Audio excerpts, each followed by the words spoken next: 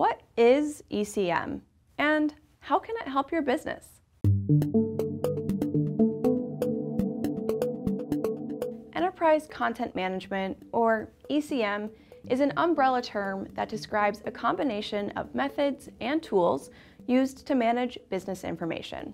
ECM has become increasingly important for many reasons, including the expansion of remote work technology, the proliferation of data breaches, and less reliance on paper documents. ECM provides the necessary business continuity and collaboration features to support these changes in business content management.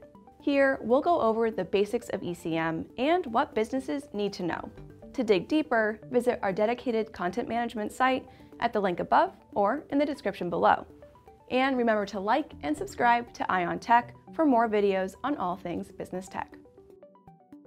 ECM manages content. That's obvious enough. But first, what is content?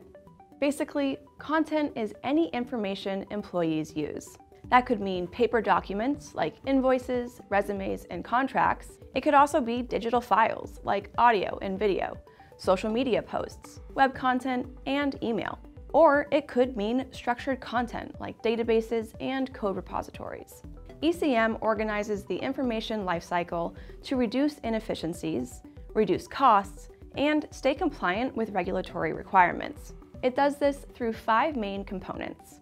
Capture, which both converts paper files into digital files and organizes digital files into a cohesive structure.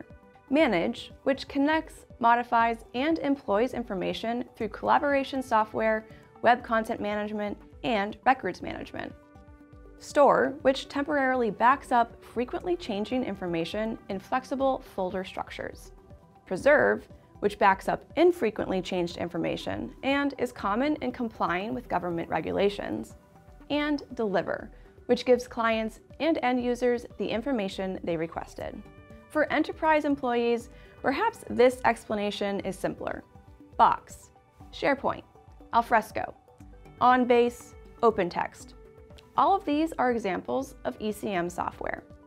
Effective ECM makes it easy to access information, but also has other benefits, like minimized compliance and regulatory risk, since all content can be held and shared in accordance with necessary guidelines. A single source of truth, no more duplicates or old versions floating around. Reduced cost via automation, avoiding compliance fines, and minimizing storage needs improved customer satisfaction, as customer service reps can get the information they need quickly. Business continuity, as ECM incorporates archives, disaster recovery, and account backups, and improved content accessibility, providing search and analytics tools to improve data mining. This, in turn, also improves overall employee productivity. In the world of content management, a newer player has come onto the scene, Content Services Platforms, or CSPs. Many people compare ECM and CSPs, and Gartner has even said that CSPs have replaced ECM. The technologies are similar, but they're not the same, and both will continue to coexist as they serve business needs differently. What do you think? Is ECM being pushed out by CSPs? Do you have loyalty to any one ECM system? Share your thoughts in the comments, and remember to like and subscribe too.